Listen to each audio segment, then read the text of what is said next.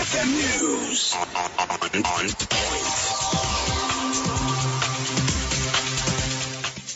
The news on XFM. I'm Chris Tim.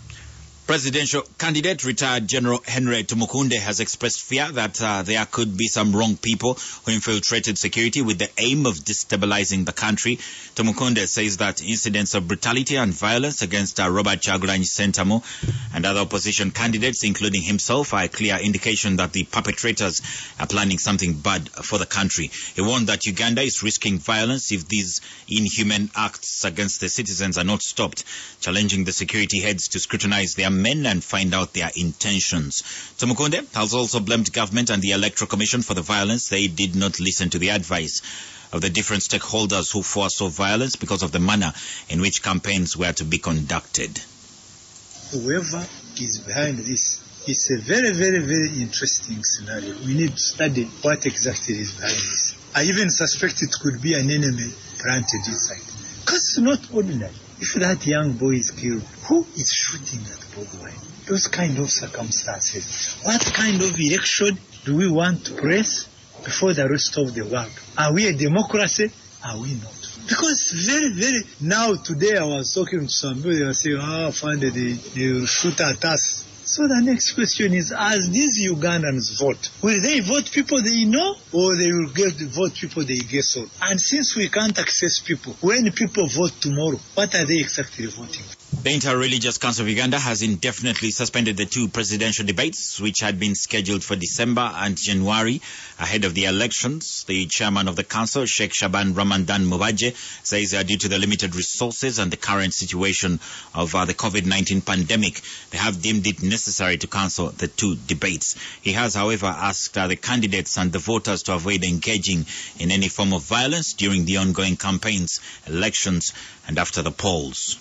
The four-month uh, refresher training for LDUs has been completed and the last battalion will be passed out this week. The management of the UPDF decided to retrain all LDUs after receiving a lot of complaints from the public about the way uh, they handle people. The 1st Division Army spokesperson, Major Bilal Katamba, says that the training has been beneficial to them as well as to the public. Possibly we shall be able to pass them out next week. Expected outcome at least have been achieved. If you look at the complaints we used to get previously from the local population about our local defense force, it has drastically reduced. And this gives us hope that uh, the training uh, objectives were achieved. We are very happy.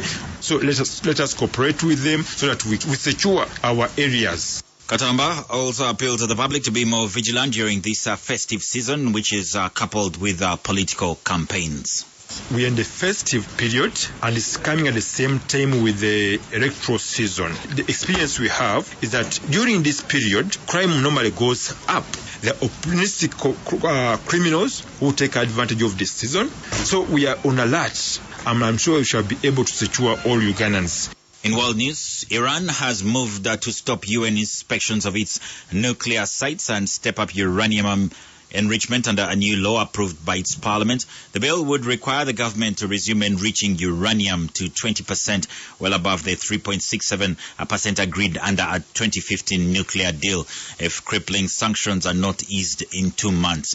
Iran's President Hassan Rouhani said he opposed the implementation of the law. It comes after the targeted killing of Iran's top nuclear scientist. Mohsen Fakhrizadeh was killed in a mysterious attack on a road outside the capital Tehran last Friday. Iran believes Israel and an exiled opposition group used a remote control weapon to carry out the shooting. Israel has not publicly commented on the allegations of its involvement. Now in uh, local sports, Kampala Capital City Authority Football Club has confirmed six players will miss the Ghana Premier League opening game today at Kavumba uh, due to injuries. The City Authority side will be in Kavumba to play the Japanese-owned side, Silito Bright Stars, in a league opener starting at 4 p.m. Uh, this afternoon. The injured players are defender John Revita, midfielders Gift Ali, Julius Poloto, and Aliro Moses, as well as the forward Sadat Anaku. Head coach Mike Mutebi says he has enough in the armory of the club to overcome the Bright Stars. They have always given us a problem, Bright Stars. But uh, our target is to win the league. We are going to wrestle the league back, you know, It was unfortunate last season, but this season we are going to win the league. That is our target. Bright Stars, yes. They are going to give us a hell of a problem. They, they've always given us a problem. But we believe we have enough in our armory to negotiate and try to win what that match. And that's the latest XFM news. XFM News on, on point.